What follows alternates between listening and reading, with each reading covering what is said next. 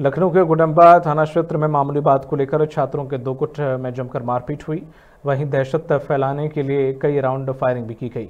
जानकारी के अनुसार एक होटल पर खा रहे युवक के साथ यहाँ आपस में कहासुनी हुई, जिसके बाद से युवक के साथ मारपीट की गई, साथ ही भय का माहौल बनाने के लिए फायरिंग भी की गई। दोनों गुट तक यूनिवर्सिटी के बताए जा रहे हैं और वहीं पुलिस अब मामले की जाँच में जुटी है।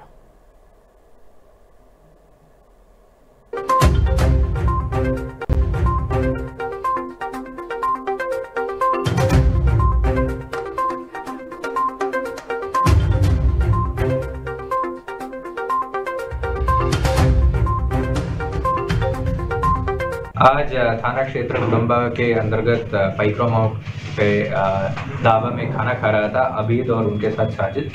तो पुराना रंजिश को लेके वहीं पे एक काला कलर स्कॉर्पियो में उनका विपक्षी सिद्धार्थ सिंह आके लाठी डंडों से उनको पीटा गया है। उनको सिर पे हल्का चोट लगी है, जिसको इलाज भी हम लोग ने किया है।